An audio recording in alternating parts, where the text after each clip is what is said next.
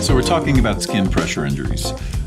The clinical advisory team at Intellectability has put together a, a, a, pretty comprehensive document about skin pressure injuries in people with IDD, and you can download it at replacingrisk.com.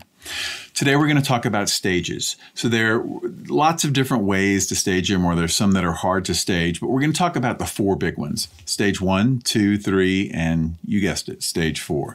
So what does a stage one look like, a stage one pressure injury? Basically the skin is intact. It may be reddish in color. Uh, in people that have darker skin, it may be darker in color.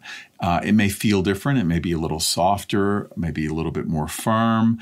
Um, but basically, you're going to see some sort of difference in the skin than the normal skin that might be around it.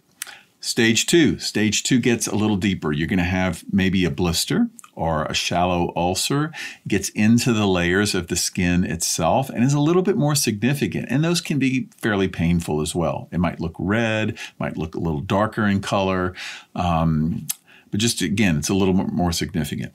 When you get to stage three, stage three is pretty significant. So it's gone all the way through the layers of the skin and it's into the, the tissues underneath the skin, like the subcutaneous fat uh, tissues that are in the skin.